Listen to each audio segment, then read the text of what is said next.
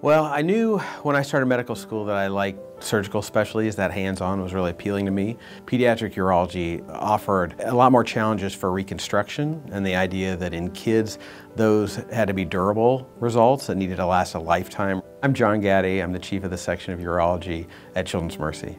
Pediatric urology can be pretty challenging in that the average age of children that we operate on or seen in our clinic for surgical problems is usually around six months of age or so. So, you know, we're dealing with infants who aren't able to communicate. We become aware of from just the anatomy standpoint. So it doesn't take a child telling you, you know, what's, what's wrong to know what you know, the problem might be. Urologists in general deal with anything from the kidneys, you know, down to the bladder. So anything that you think of as the urinary tract, but also the genitalia and malformations there. That can include tumors, but the most common thing thing that we deal with is just malformations where things just haven't developed normally. We tend to overlap quite a bit with female genital reconstruction and those type of operations. When you think of typical things such as a circumcision or something like that, we do that, but we also do hernias and also uh, abnormal development of the urethra. Hypospadias is a really common diagnosis and that's uh, one of the more common operations we do.